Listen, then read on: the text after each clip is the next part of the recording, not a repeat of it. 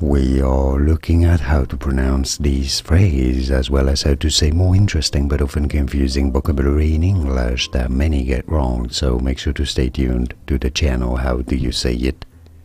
Gibbous moon. Gibbous, not gibbous, but rather gibbous moon, a hard G. More videos here on how to pronounce more interesting words and names whose pronunciations aren't obvious. I'll see you there to learn more. Thanks for watching.